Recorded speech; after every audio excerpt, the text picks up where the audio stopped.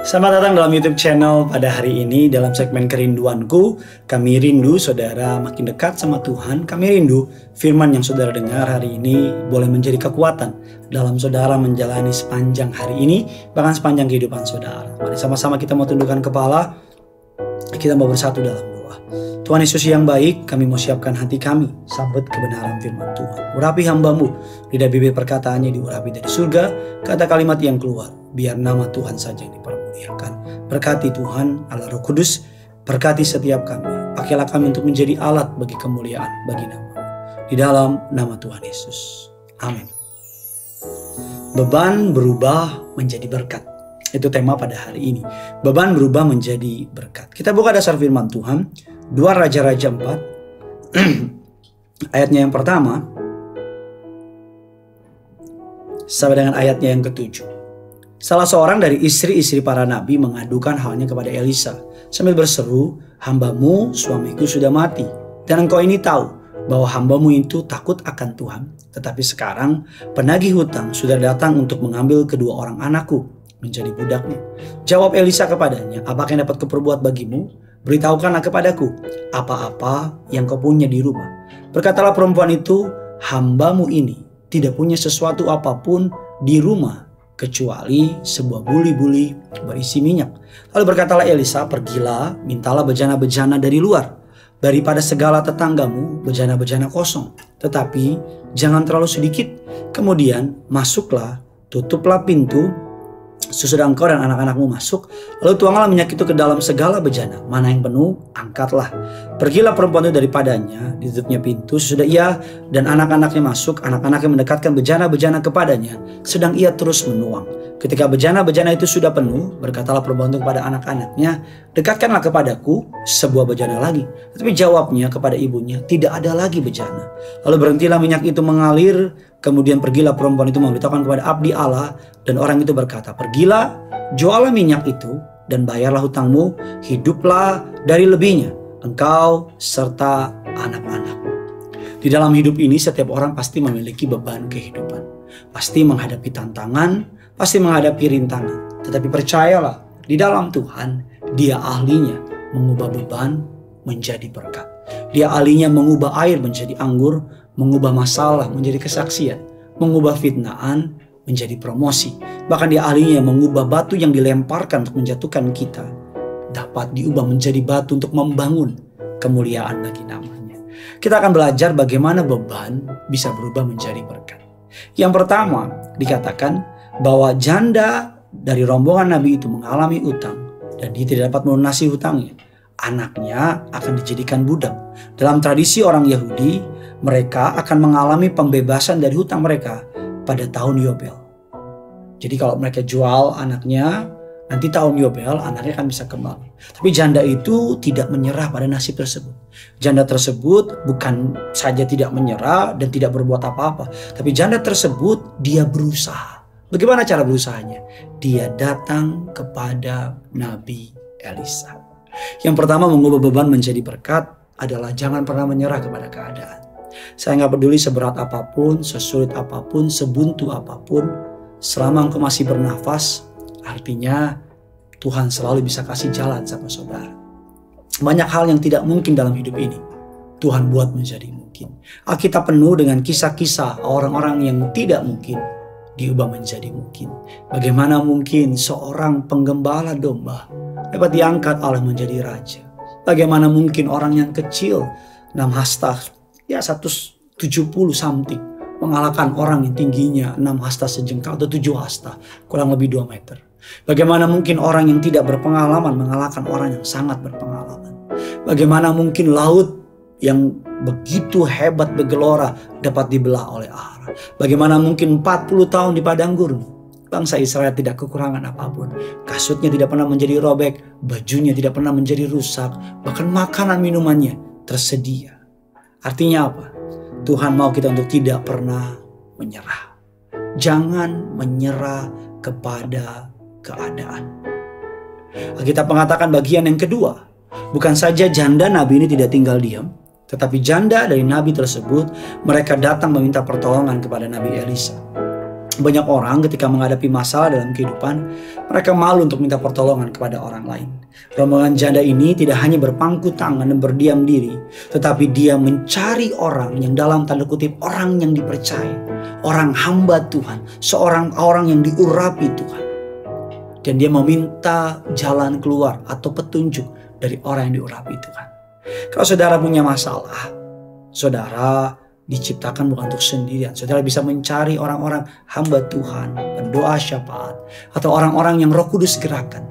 Jangan meminta pertolongan kepada orang yang salah, itu pasti. Tetapi meminta pertolongan untuk mencari orang-orang yang diurapi Tuhan. Agar melalui orang tersebut, minimal dia bisa mendoakan saudara. Dan bisa memberikan kekuatan bagi saudara. Yang ketiga yang terakhir, mengubah beban menjadi berkat. Dikatakan Jangan perkecil imanmu. Tuhan kita adalah Tuhan yang maha besar, maha dahsyat. Kita tidak perlu meragukan kuasa kedahsyatannya. Ketika hamba tersebut meminta kepada janda tersebut apa yang ada padamu.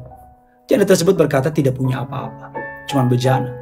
Dia tidak tahu bahwa bejana itu dapat diisi dengan minyak. Cuman buli-buli berisi minyak. Dia tidak tahu bahwa dengan buli-buli minyak itu Tuhan dapat memberikan begitu banyak berkat dan mukjizat. Dan Nabi Elisa berkata kepada janda tersebut untuk meminta bejana-bejana dari orang lain. Dan ketika bejana itu dikumpulkan, minyak itu dituangkan. Saya percaya kalau janda tersebut tahu bahwa minyak itu nggak akan habis sampai bejananya habis, saya percaya dia akan meminta lebih banyak lagi. Tapi ya berkatnya berdasarkan iman yang mengumpulkan bejananya. Saya percaya bahwa Tuhan dapat memberikan kita terobosan. Tuhan dapat memberikan kita percepatan. Tuhan dapat membuka jalan bagi setiap saudara dan saya.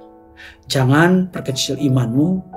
Dan yang terakhir bonus track bagi saudara dan saya. 2 Raja 4 ayatnya yang ketujuh. Kemudian pergilah perempuan itu memberitahukannya kepada abdi Allah. Dan orang itu berkata, pergilah jualah minyak itu, bayarlah hutangmu, hiduplah dari lebihnya engkau beserta anak-anak. Yang keempat, yang terakhir, jangan mengulangi kesalahan yang sama. Wanita janda ini dan suaminya telah melakukan kesalahan. Mungkin janda ini bergantung kepada suaminya, atau mungkin dia melakukan sesuatu sehingga hutang-hutangnya menjadi banyak. Ketika Nabi Elisa datang, pergilah jualah minyak itu. Artinya bahwa seorang istri juga harus cakap dalam mengelola keuangan. Seorang istri harus cakap dalam mengelola keuangan, juga jangan biasakan diri untuk berhutang. Karena berhutang akan menambah beban kita, membuat kita akan semakin berat.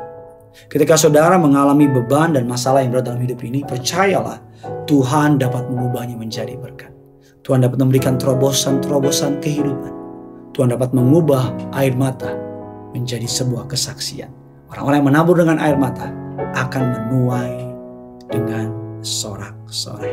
Jangan menyerah kepada keadaan, jangan malu minta pertolongan kepada orang-orang yang dipercaya, di, diurapi oleh Tuhan. Jangan berkecil imanmu, jangan ulangi kesalahan yang sama. Dan jangan lupa bagikan kabar baik ini kepada orang-orang di sekitar saudara. Agar mereka yang punya beban bisa berubah menjadi sebuah sukacita. Saya berdoa firman ini boleh memberkati saudara. Karena yang punya surga, crazy in love with you. Mari sama-sama kita siapkan hati kita untuk memuji menyembah Tuhan kita. Sekalipun aku dalam lembah kelam, ku tak takut sebab kau besertaku. Sekalipun badai Topan datang menerpa Ku tak gentar Sebab kau di sisiku. Aku percaya Aku percaya. Berkatmu atasku melimpah. Kebajikan kemurahan selalu mengikutiku Ku puji, ku sembah kau Tuhan Mari sama-sama kita datang. Sekalipun aku dalam lembah gelap, ku tak takut sebab kau besertaku. Sekalipun, sekalipun badai topan datang menerpa, ku tak gentar sebab kau di sisiku. Mari sama-sama aku percaya, aku percaya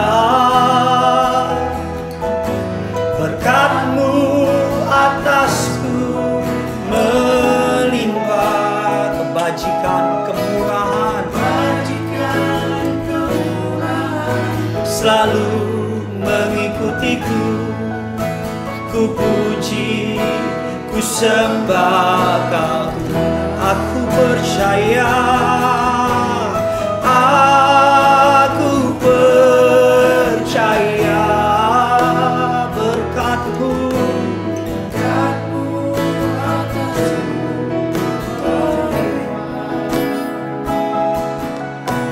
kebajikan kemurahan selalu mengikutiku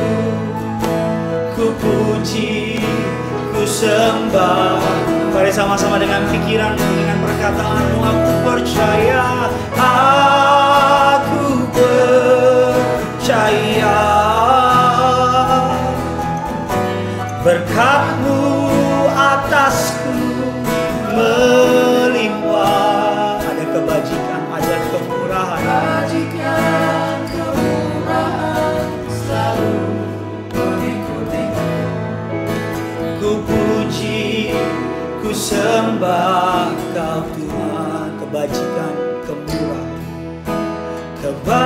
kebajikan kemurahan selalu mengikutiku ku puji ku sembah kau